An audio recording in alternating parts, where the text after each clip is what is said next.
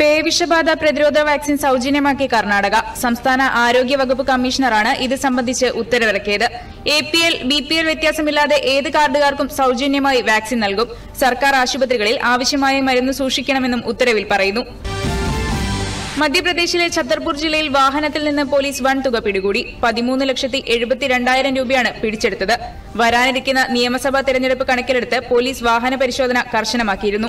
ഈ വാഹന പരിശോധനയ്ക്കിടയിലാണ് പണവും ചില രേഖകളും കണ്ടെടുത്തത്. സംഭവത്തിൽ അന്വേഷണം തുടരുകയാണ്.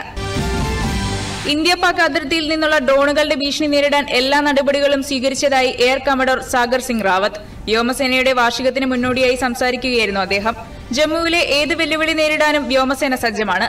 വ്യോമസേനയുടെ മേഖലയിലെ നിരീക്ഷണ പ്രവർത്തനങ്ങളെല്ലാം വിജയകരമാണെന്നും കരസേനയുമായി ഏകോപിപ്പിച്ചാണ് ഇത്തരം പ്രവർത്തനങ്ങൾക്ക് വ്യോമസേനയെ വിന്യസിക്കുന്നതെന്നും അദ്ദേഹം പറഞ്ഞു. തെലങ്കാനയിൽ സർക്കാർ സ്കൂളുകൾക്ക് പുറമെ തദ്ദേശ സ്ഥാപനങ്ങൾക്ക് കീഴിലെ സ്കൂളുകളിലും പഠിക്കുന്ന കുട്ടികൾക്കായി മുഖ്യമന്ത്രിയുടെ പ്രഭാത ഭക്ഷണ പദ്ധതി ആരംഭിച്ചു. ഹൈദരാബാദിലെ സർക്കാർ ഹൈസ്കൂളിൽ സംസ്ഥാന ഐ ടി മന്ത്രി കെ താരകരാമറാവു പദ്ധതി ഉദ്ഘാടനം ചെയ്തു.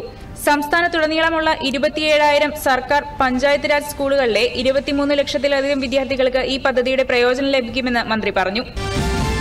ജമ്മു കാശ്മീരിൽ കിഷ്തവാർ ജില്ലയിൽ അപൂർവ ഇനം കൂൺ കണ്ടെത്തി. ഇന്ത്യയിൽ ആദ്യമായാണ് ഈ ഇനം കൂണ് കണ്ടെത്തിയത്. കിഷ്തവാർ സർക്കാർ കോളേജിലെ ബോട്ടണി വിഭാഗം മേധാവി പ്രൊഫസർ ഫൈസൽ മുഷ്താഖ് കിച്ലുവാണ് കണ്ടുപിടുത്തത്തിന് പിന്നിൽ. പ്രദേശത്തിന്റെ പാരിസ്ഥിതിക സമൃദ്ധി ഉയർത്തിക്കാട്ടുന്നതാണ് കണ്ടെത്തൽ.